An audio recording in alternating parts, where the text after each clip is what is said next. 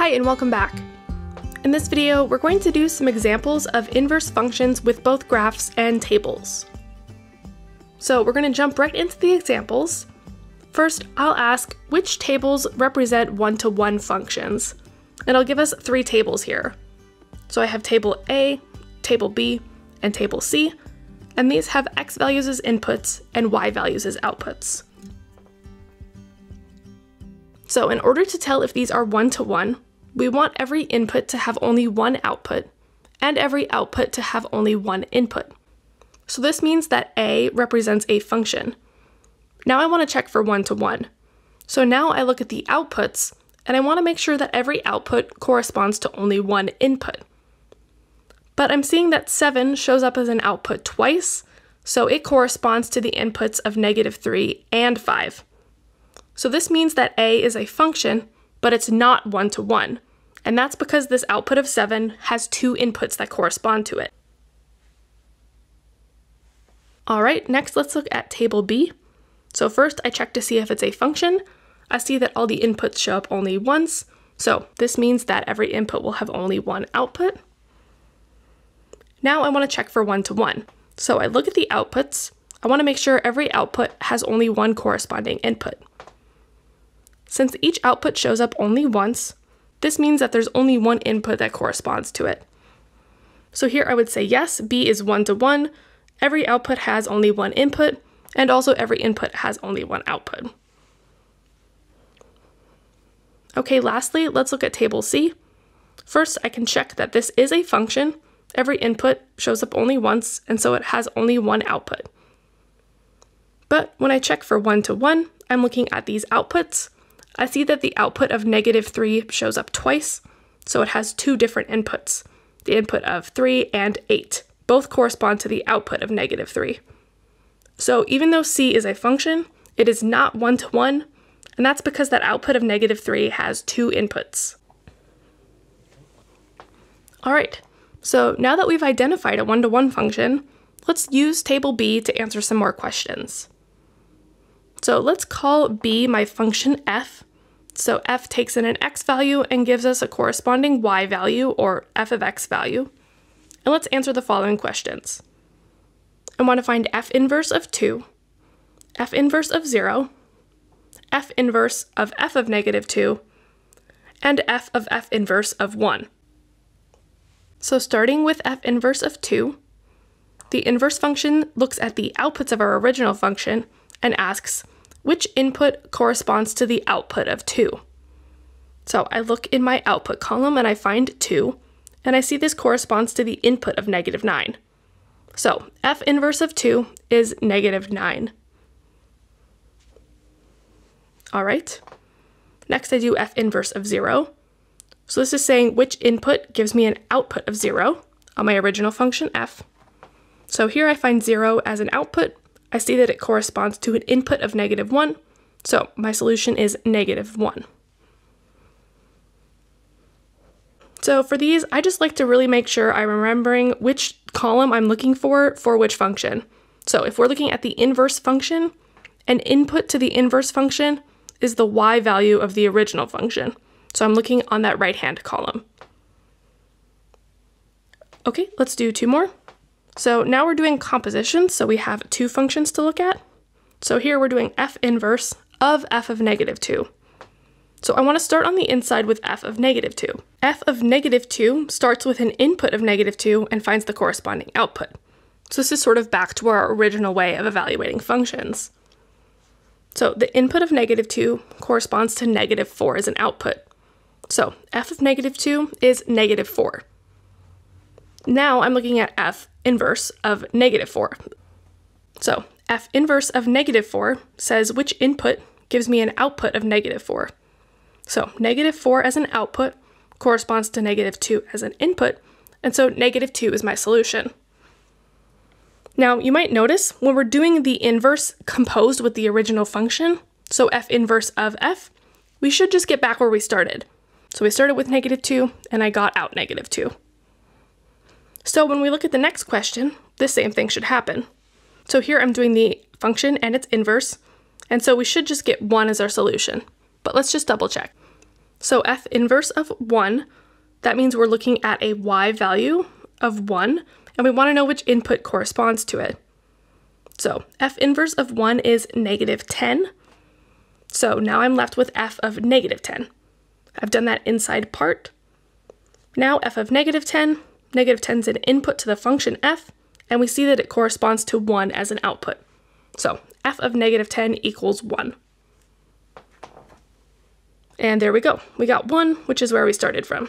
So what I just want to show here is that when we take a function and compose it with its inverse, it's effectively not doing anything to the value. We talk more about this in another video, but I just wanted to comment on it here. Then before we move to another example, I just want to talk about the domain and range of the function f here and its inverse. I see that the domain of my original function is negative 10, negative 9, negative 7, negative 2, negative 1. So these are just my input values. And then the range is the corresponding output values. I'll order them from least to greatest. So negative 4, negative 3, 0, 1, 2.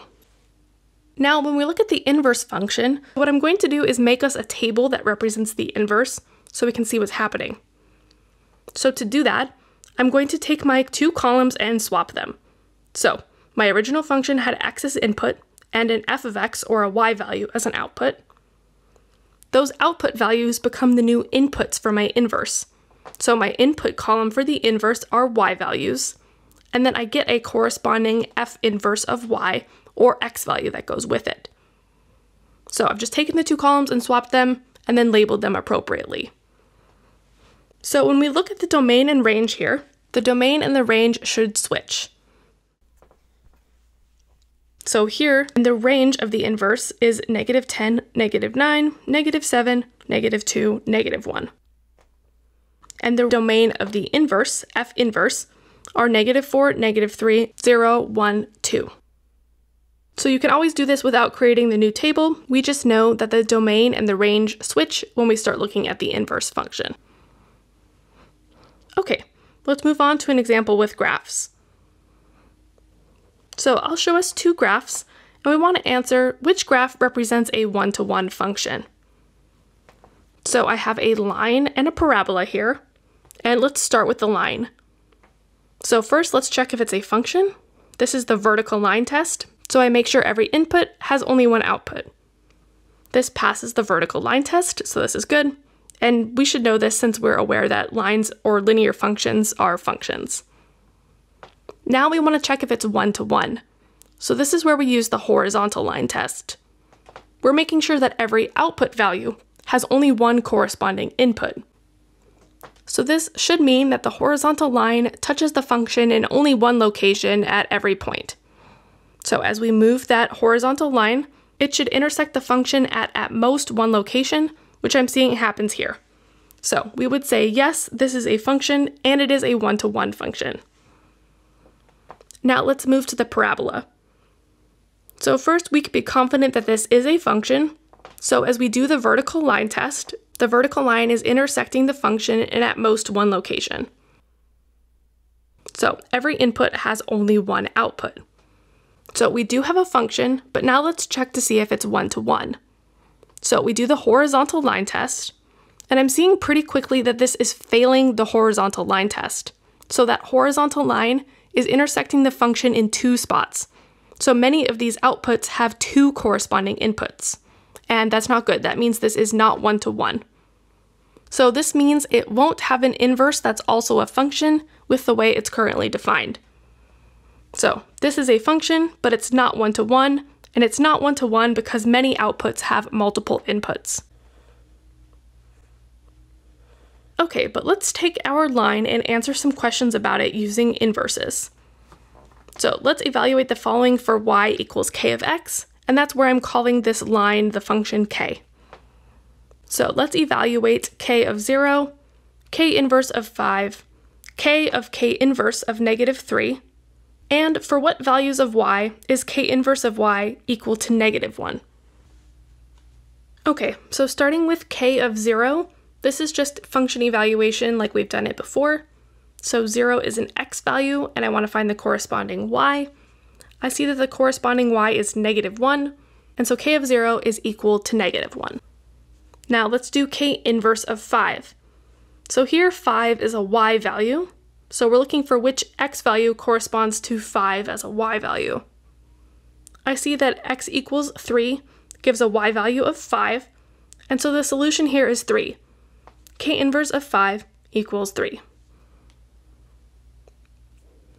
So for these, I just like to think about whether I'm using an x value or a y value that I'm starting with, and then what my solution should be, either an x or a y value.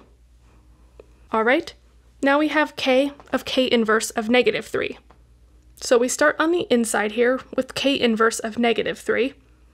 This means negative 3 is a y value, and I want to know which x value it corresponds to.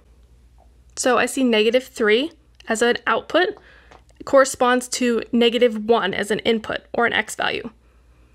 So k inverse of negative 3 is negative 1. Now I want to do k of negative 1. So I look at negative 1 as an x and see that it corresponds to negative 3 as a y. So the solution here is negative 3.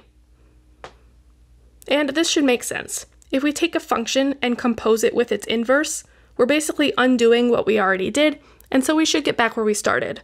So we started with negative 3, and we got negative 3 as our answer. Alright, lastly, let's answer for what values of y is k inverse of y equal to negative 1. So here, k inverse takes in a y value and gives us an x value. So negative 1 is an x value. This means we'll find negative 1 as an x and see that it corresponds to y equals negative 3. So this means k inverse of negative 3 is negative 1, and so negative 3 is our answer. All right, so I want to just finish by repeating some similar examples with our other graph. So we started with a parabola, but we said this wasn't one-to-one, -one, so what I'm going to do is just take half of the parabola so that it is one-to-one -one and passes both the vertical and the horizontal line tests. So let's evaluate the following for j of x, where j is my half of a parabola shown here. So let's find j of 2, j inverse of 4, j inverse of j of 4, j inverse of j inverse of 0, and answer for what values of y is j inverse of y equal to 2. So starting with j of 2, 2 is an x value, and I want to find the corresponding y value. So I see that 2 corresponds to 3, and so 3 is my answer. Then for j inverse of 4, 4 is now a y value, and I want to find the corresponding x. So I see 4 corresponds to an x of 1, so 1 is my solution. All right, now we have j inverse of j of 4, so since we know that inverses and the functions sort of undo each other, we're expecting to get 4 as the answer, but let's just go through it anyway. So starting with j of 4, 4 is an x value, and we see the corresponding y is negative 5. So j of 4 is negative 5, which becomes our new input. Now we have j inverse of negative 5. Here, negative 5 is a y, and I want to find the corresponding x. So I see that negative 5 corresponds to 4 as an x, and so 4 is our solution, as we expected. All right, now we have j inverse of j inverse of 0. So here we don't have the function and its inverse being composed. We have the inverse happening twice. So our answer is probably going to be something other than 0, but we'll have to see. So we start on the inside, we do j inverse of 0. Because we're using the inverse, that 0 is a y value. So I look at 0 on the y, and I see it corresponds to 3 as an x. So j inverse of 0 is 3. This means I need to now find j inverse of 3. So again, the inverse function takes a y value, so 3 is a y. I see that the 3 as a y corresponds to 2 as an x. So j inverse of 3 is 2, meaning that 2 is our answer. All right, and lastly we have, for what values of y is j inverse of y equal to 2? So, since the inverse takes in a y value, its outputs are x values, and so 2 here is an x. So we want to take 2 as an x and see which y it corresponds to. I see that y equals 3 is my solution, and that's because j inverse of 3 equals 2. And there we go. So those are some examples of evaluating inverses using tables and graphs. Thanks so much for watching, and I will talk to you in the next one.